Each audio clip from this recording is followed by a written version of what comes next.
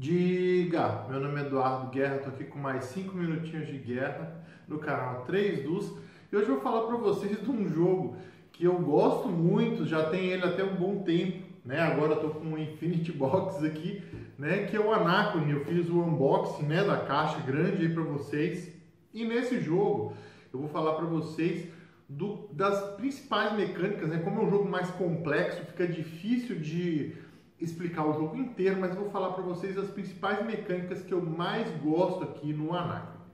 Certo? Então é isso daí.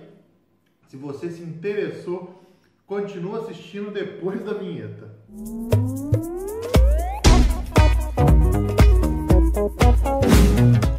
Este episódio tem o apoio da Távola Games. Seja você também um cavaleiro da Távola. Bom, galera, o Anacron ele é um jogo é, de alocação de trabalhadores, mas num ambiente é um pouquinho mais futurista, né? onde tem ali viagem no tempo, onde o pessoal sabe que tem um, um meteoro que vai cair e tal, eles conseguem receber coisas do futuro, né? E aí eu achei assim, é um jogo especificamente que eu achei que essas mecânicas ficaram muito bem muito interessantes, muito bem implementadas aqui no jogo, tá? Então eu vou mostrar para vocês aqui na mesa, né? Até peço ali para vocês desconsiderarem que eu estava jogando aqui e estava com as expansões. Então pode ser que nem tudo que esteja aqui na mesa, né? Por exemplo, a facção que eu estava jogando é uma facção da expansão, mas eu acho que dá para explicar aí as, as mecânicas básicas é, sem se preocupar com isso. Só de você não olhar e falar, ah, mas meu jogo não tem isso. Né? É mais para explicar as mecânicas mesmo. Então, bora lá. Bom, galera, essa daqui é uma linha do tempo que você usa quando você está jogando, tá vendo? Esse aqui é o momento? Você sabe que quando cada rodada do jogo, né, você vai andando aqui embaixo aqui dessa timeline aqui. Né? Quando chega aqui é que teve aquela explosão lá do meteoro que eu te falei. E uma coisa legal é que como a gente já dominou a viagem no tempo, a gente pode pedir recursos para o futuro, né? Na verdade, nem precisa pedir, porque lá no futuro eles sabem que a gente está precisando. Então, por exemplo, a gente vai colocar aqui um triângulozinho, por exemplo, da nossa facção, às vezes para pegar um tipo de trabalhador, né, ou um tipo de recurso, você pode fazer isso até duas vezes por rodada, né? E aí depois, quando você tiver na rodada seguinte, você pode usar um determinado tipo de construção, né, para meio que voltar no tempo e devolver isso daqui. É como se fosse um empréstimo, né? Mas é legal você pensar, né, que você está recebendo esses recursos do futuro e depois você vai ter que voltar né, do, do futuro para poder é, tá, é, é, digamos assim, mandando isso daqui para o seu eu do passado que já recebeu isso daqui, né? Lógico que você vai ter algumas consequências, você pode pegar aqui uns, é, é, uns paradoxos, né? Que vão gerar umas anomalias, que é umas coisas ruins que vem aqui no seu tabuleiro, mas é, é, tudo tem a sua consequência. Uma outra coisa legal no Anacrone é a forma que funciona o, a alocação de trabalhadores. Né? A gente tem aqui, ó, é, é, basicamente quatro tipos de trabalhador, né? O cientista, o engenheiro, o administrador, alguma coisa assim, e o gênio, né? Na expansão tem um a mais, mas não vamos falar disso agora. É, e aí, cada ação, tá vendo? Ó, essa daqui, por exemplo, só o cientista pode fazer. Essa daqui, se você fizer com administrador, você pode fazer uma ação adicional. Né? E se eu for vendo as ações, todas elas têm uma implicação né, de acordo ali com o tipo de trabalhador. Né? Tem algumas que não faz tanta diferença.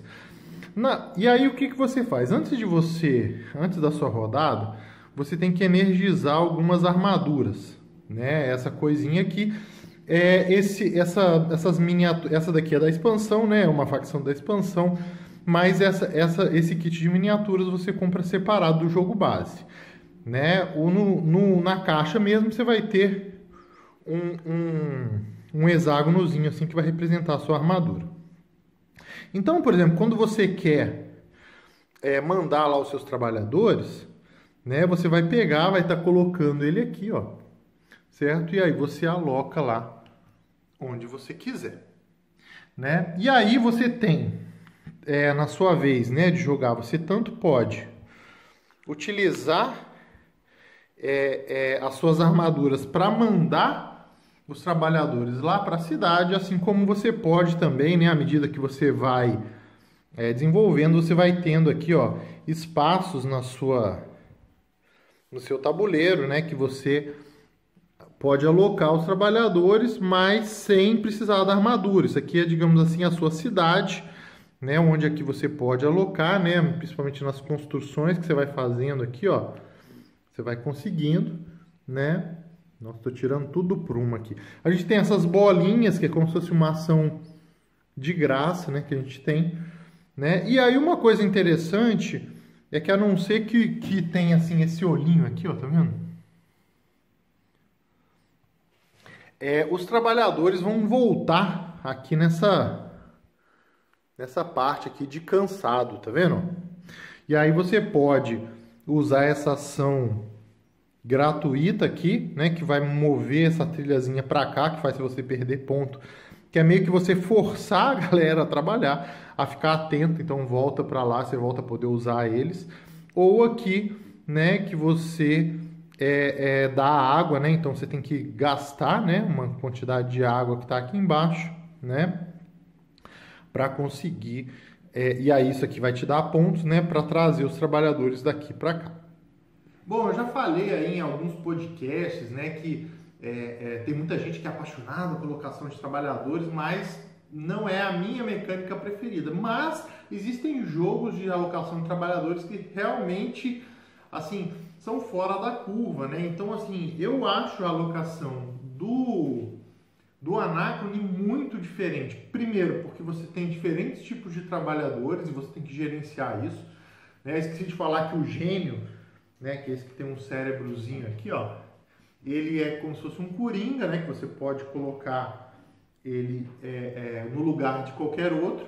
Né? Então você tem aí a alocação de trabalhadores, você, que, que já tem tipos diferentes, o que já é interessante né? Você tem locais de alocação no seu tabuleiro e no tabuleiro principal, que aí você também tem que gerenciar o uso das armaduras, né? Da, da, dos exoesqueletos ali para você conseguir ir na cidade, que é um lugar radioativo e etc.